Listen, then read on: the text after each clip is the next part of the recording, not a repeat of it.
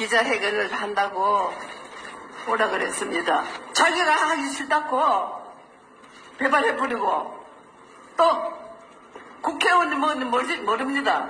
자기가 또 살이 사욕 차리는 거 아닙니까? 안 되는 이유.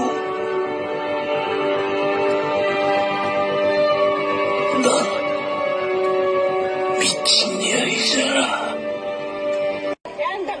후보 윤미선이야! 난 이럴 순 없어. 이럴 순 없는 거야! 아니요. 지금 제가 있으면 경선 후보들 대통령이든 벌 받는 겁니다.